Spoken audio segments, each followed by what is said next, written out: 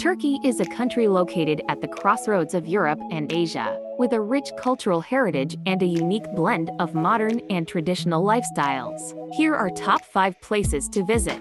Number 1. Hagia Sophia Mosque. Number 2. Ephesus. Number 3. Topkapi Palace. Number 4. El Danis. Number 5. The Blue Mosque.